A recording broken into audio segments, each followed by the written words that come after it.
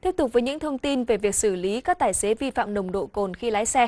Một tài xế ở Quảng Nam bị cảnh sát giao thông phạt 7 triệu đồng, tước bằng lái xe 23 tháng, tạm giữ phương tiện 7 ngày vì vi phạm nồng độ cồn.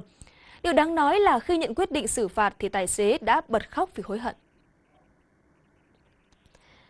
Theo đội cảnh sát giao thông công an thành phố Tam Kỳ, tỉnh Quảng Nam, khoảng 19 giờ 30 phút ngày 15 tháng 1 tại đường Trương Chí Cương, tổ công tác yêu cầu ông T, 37 tuổi ở thành phố Tam Kỳ dừng xe máy để kiểm tra.